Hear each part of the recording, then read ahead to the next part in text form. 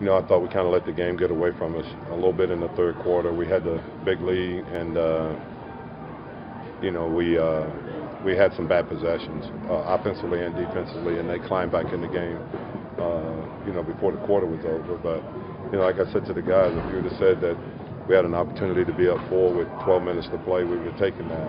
We just didn't finish the game. I thought they did a great job, and obviously uh, Donovan played a great game and uh, kept uh, pressure on our defense the whole game, driving to the basket. And, you know, when he didn't drive, he uh, shooting a three-point shot, and you know, he, I think he's got a chance to be a great player. Is there any update on Anthony?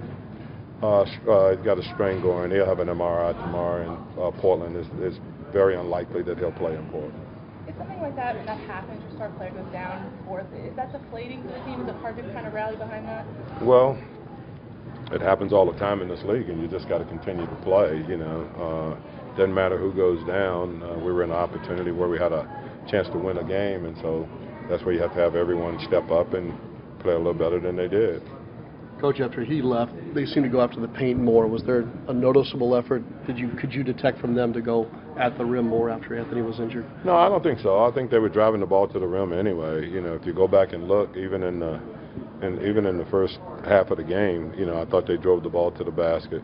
Uh, we got to do a little bit better job of containing the ball uh, and not giving them straight line drives. But uh, you know, they're good. I mean, you know, uh, Donovan Mitchell is as good as any rookie that I've seen this year. So, and that includes, you know, the kid from Philly or anywhere else. I mean, he does a lot of things and he plays with a lot of energy and, you know, has the ability to shoot the ball. Obviously, uh, the three pointers that he made, and then you can see him driving to the basket. So, uh, and and they do a good job of executing and moving the basketball, and uh, they got three point shooters.